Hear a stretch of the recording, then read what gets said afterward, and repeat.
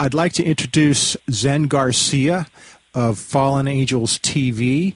Zen has his radio ministry and, and TV ministry. And uh, Zen, would you like to say a few words about uh, about your ministries? Yeah, I'm um, basically I'm I'm not a pastor or a preacher or even any kind of a church authority. I'm just a truth seeker and a fellow investigator, and um, and I'm just sharing really what I, I've found as far as uh, in my life and of research and seeking the truth and serving the Lord. And um, there's many things, you know, a lot of revelations that the Lord has led me to. The first and foremost, the the skeleton key, in my opinion, was the whole the conclusion as far as Cain and um, his being a hybrid, uh, the first hybrid child of, of Satan, Lucifer, Samael, as described in the Targums and several other different things.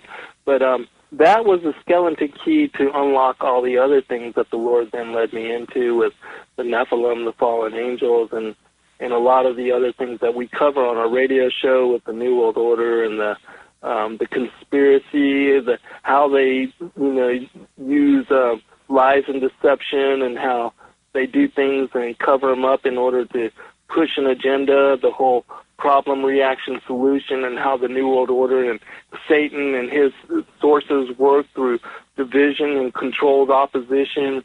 And a lot of times what we see as a, you know, a division among the minorities is, is really just false because uh, it was created by the elite um, only, you know, to sire, um, to sire tension and to create war. And they profit off funding both sides of of doing that over and over and over. And that's also how they um, centralize power, wealth, and control is by funding these wars over time, over and over and over, profiting at the expense of the people, um, you know, slaughtering the masses and blood sacrifice to their to their fallen angel gods and to Lucifer and uh, all those that rebelled against them. And so there's so much that's going on in this world that is of a incredible spiritual nature that people don't understand and um and won't understand unless you get the knowledge of what the Lord is trying to reveal through his word, through his prophets and his saints and his apostles and and all his holy books. Because all these things are contained therein. And uh even though they sound like you know, lunatic bridge as far as sources or or the the perspective that we're bringing forward. This is the discernment that the Lord is leading so many people to, and we're getting confirmation from everybody all over the world. And even though many of us are still, you know, we're all still learning from each other, and none of us have all of the pieces put together. There's so much information coming out now that really, truly there's nothing new under the sun, and and everything is being unfolded and unveiled. And I think if we pray in fellowship and as a group together, that really the Lord is going to reveal everything, whatever it is, uh, all the secrets, whatever questions we have, that He will reveal to us all. Okay, uh, that that is uh, Zen Garcia, and I am Professor Truth. We're going to begin a interview today uh, to allow uh, Zen to espouse some of his most recent research and bring forward to you the truths of of eternity that have been hidden from us and that Zen has uncovered in much of his reading of of many texts and and uh, outside of scriptures as well as scripture being the foundation. And with that, we'll uh, we'll proceed, brother Zen. Excellent. Good to talk to you, brother. I just wanted to ask you: Have you had time to to check out the War Scrolls? I've read some of them, but I haven't read all of them, and uh, I've been focusing on the second one because it has dreams and interpretations. But my question is: Is there anywhere where you can actually find the War Scrolls text and read it for yourself? Because I'm not even finding that contained within the within the book. Yeah, because it's kind of like that rabbi's uh, view of the War Scrolls. Right, exactly. Okay. Yeah, I don't. I don't know. I, I do know. I had heard at least that the War Scrolls were found as part of the Nag Hammadi collection. Hmm. But they're being hidden pr- quite well, and I, I also heard that they reveal uh, many many uh, angel wars during the times of Moses and, and the and the times of the twelve tribes being here. That in fact the angel wars were in full uh, force, and that they Moses and the other prophets and and uh, people of God were actually drawn into these angelic wars, and that's what the War Scrolls describe. I can see that. I can totally see that. I would, in fact, say that the angel wars are still going on. Yeah, I don't know if you um, know about the Tribulation Now, the you know tribulationnow.org. That's the website, and they've been um, writing a lot of articles, and they're getting a lot of coverage too. They uh, Steve Quayle often cites from their sources and stuff.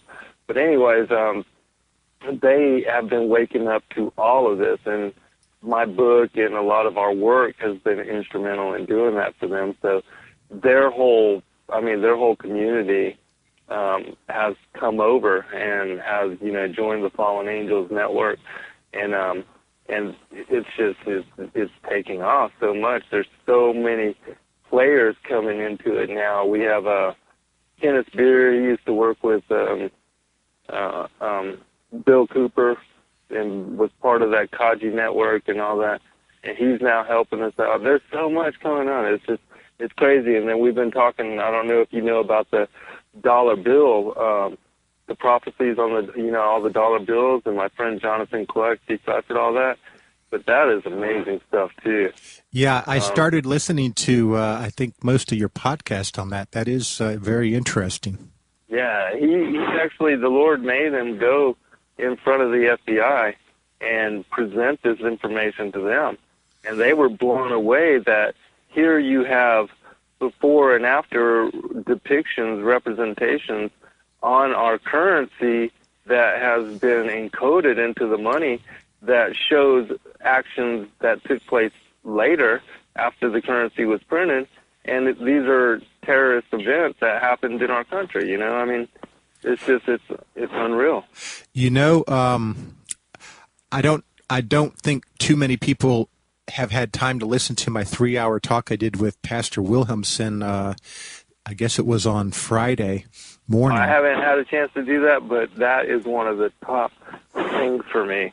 Um, it's I inc- want to get into that so bad. I'll tell you, it's incredible, uh, Zen, because uh, what you just said about the dollar bill prophecies, we we go into. I can go into it a little more deeper here if you want, but basically, Pastor Wilhelmsen has I, has determined that the fallen angels have pr- principally two primary quote technologies. One is time travel, and one is cloning. And um, to, to, to discuss a a postulate on how the dollar bills might have prophecies on them. Way back when, when uh, Lucifer and w- was cast out. Now, apparently, he's going to be cast out in the future, so we have to not confuse right. the two yeah. events. And maybe you could yeah, go yeah. into that and give me clarity. But um, the original uh, losing of the original battle when when uh, they were quarantined to this prison sector of the galaxy. Um, they had technology of time travel, and, and and what they did was they went into the future and they found a timeline where they were most uh, successful. And God, this this is the Second Thessalonians strong delusion that applies. Here's what's so cool. Right. This Second Thessalonians chapter two delusion we read it and it certainly applies to us, but guess what? It applies to Satan too. He's, right. he's being deceived, but he picked a timeline. He picked a timeline where God allowed him to be deceived to think he wins, and and therefore, knowing the end from the beginning, he has had to orchestrate all events exactly on time and precisely because any deviations puts him on a different timeline. So, mm-hmm. so the, the prophecy on the money obviously could have been if you see the future you you you know the events that you have to orchestrate perfectly Right. in line on that timeline and so you go ahead and make the money that way and and you kind of know all these events and when they're going to happen and it's Right. it, it's it's a it's a trap for both Satan and it's a deception for the humans or people that do not align to Jesus Christ. It's it's a dual a dual deception. Which when Wilhelmsen goes into it, it was just I was just sitting here in just amazement on how how that works. Oh, and it's also a confirmation for the people of God, um, because if all this stuff has been encoded and the Lord reveals it, like He showed it to Jonathan, and then Jonathan reveals it to our community. I mean, there's no other way. There's no other way for it to to come out. I mean, Who Yeah. would have ever uh, um, been able to know that? But you see what I mean? The Lord. Do you see what I'm saying? It he had to he had to make it that way and stay on that timeline because that's Oh, right, right, right. Oh, yeah, I totally, totally see that. They're they're trying to do their thing too. Um, uh, you know, as much as the Lord is fulfilling all of His, and He's allowing them to do theirs according to His will as well, because He knows where it's all going. exactly. Um, and he knows that they, even though they think they're going to win or that they have a chance to win, there's no creature that can go against its creator and win. I mean, it's just not going to happen. yeah. So, it's it's kind of uh, ironic in a sense, but you know that's part of the blindness that is set in. What what Right. what's coming to me from our talk and and even now is God has put a blindness not only on us, which we can get into. I have a new understanding on the angel theory. We're we're a new prototype, and we can talk about that in a minute. But um, uh, there's a blindness on the earth dwellers and the sojourners, or the wheat and the tares.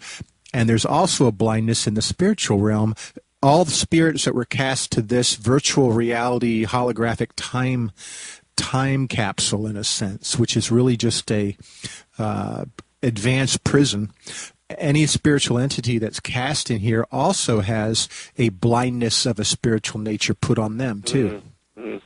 yeah, I- I've read some somewhere too um, about that we're, we're made to drink like a cup of forgetfulness too um, Yeah, I've heard before coming into the flesh. Yeah, and and of course, yeah, we we have the whole memory and slate wiped clean. We come into the flesh, and it's here where we determine through you know our fate and our destiny, our desire to serve one or two masters, how it is that we're going to play out that role and who we're going to serve and where we're going to spend eternity. That's that's really what this whole end game is about. This whole second world age. it, it really Oh, you know- is. Yeah. I was going to make mention too. I read that um, the whole blog that you sent me, where you were talking with Dr. Scott, Scott McQuaid, and um, and I, I, you know, there's there's a couple of things that I don't agree with him on. Uh, you know, especially with him thinking that Yahweh is the Anunnaki God, because there's a whole area called Edenic. Um, and this is a, a study because he says that the Hebrew was based on the Aramaic. But if you study this thing called Edenics and then you study the scripture and like the book of Jubilees and the book of Jasher, it talks about how the original language was this older Hebrew that all of the language was languages were based on this old Hebrew, and that um, that was the original language of paradise, and even all the animals and Adam and Eve, everybody spoke the one language, and it wasn't until uh, the Tower of Babel that everything was split up and the tongues were confounded and the tribes and the races were were created um, at that time. But before then, everyone, everything, even because he says also that the Sumerian texts are the oldest written language and the oldest civilization. But that's only after the flood. Before the flood, the the you know Noah and his sons, all the way to Enoch and all the way back to Adam, they had their Hebrew monotheistic Judeo-Christian um, heritage, culture, and teachings that were coming from uh, Yahweh the Most High and the Word, Yahushua, and all the angels that were then teaching through you know all that period of time. And even though all of those civilizations are under the water or have disappeared, since then, you can't say that the Sumerians are the oldest civilization on the planet because they are not. They're just the first one that sprung up after the flood. And so I really think that his, you know, and then he's putting a lot of credence on the Sumerian teachings because then he thinks that they're the oldest teachings. Uh, and so they have already built in disinformation and um, are leading you astray because they're a pagan Babylonian mystery religion that adheres to worshiping the fallen angels. And we've been warned about that, and yet he still fully um, gives credence to all that. Do you, do you have a comment on that? I do, and I'm really glad you. I'm glad you brought that up, uh, brothers. Okay. And um, um, I'll be careful and not post this particular interview, or if I do, I will edit out any direct criticism about any particular person. But for for oh you, well, I've I've talked to Scott about this even on my show when I interviewed him. So this is nothing that I wouldn't say to him directly. And in fact, um, you know, I was after I read that article, I'm going to invite him on again to have dialogue about this because I think he's wrong in this in this sense. It doesn't go back to Sumer. It goes way back. It goes to Adam, you know? So. Yeah, and, and like I said, this is an excellent point you're bringing up. Um, and I want to I want to say a few words on it because it's so important.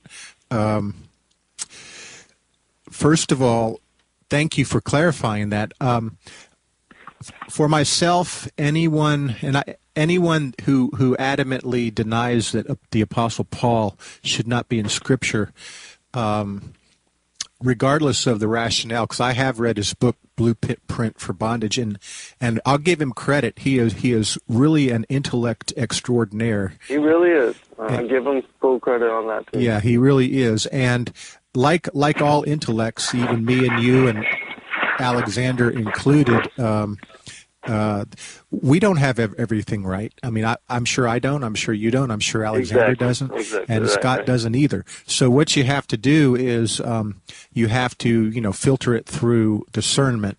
And right. my point is, anyone that throws Paul out, um, I, I, I, I guess I take a caution flag. And um, having said that, though, reading Scott's material, it is really very excellent in many ways, and you can learn a lot, like the the Sarah and the Penta, and how the Earth and the fire, right. and how right, it's related right. to Saturn. I think there's something to that. And now the key is one shoe doesn't fit all. You know, we have a tendency, like Zecharia Sitchin's books, people have a tendency to say, well, uh, the ancient astronaut theory uh, applies to every person on the planet. Well, no, it doesn't. And that's where the leaven amongst the bread uh, is introduced, the one shoe fits all problem, because there probably were uh, genetic tinkerings. In fact, I'm sure of it, and your research shows that. There was genetic tinkering before the flood and after, but it doesn't mean 100% of everything that lives has had genetic tinkering. And that's mm-hmm. the point. So back to your comment on um, Yahweh, because uh, I want to talk more about this. I, my research has shown that the word Yahweh has has existed in text pre-Bible. So before Job, before Genesis was written, there are older texts that have the word Yahweh. So I'd like in a minute for you to comment on your views there. But I certainly agree that when Scott says the more ancient languages were Aramaic, that is certainly, from my research, not true at all. I'm more in alignment with what you said. There was an original language of God, Hebrew, and right. it was an earlier form, and it and it and it I hate to use the word, but it evolved later to add consonants and take on mm-hmm, a slightly right. newer form.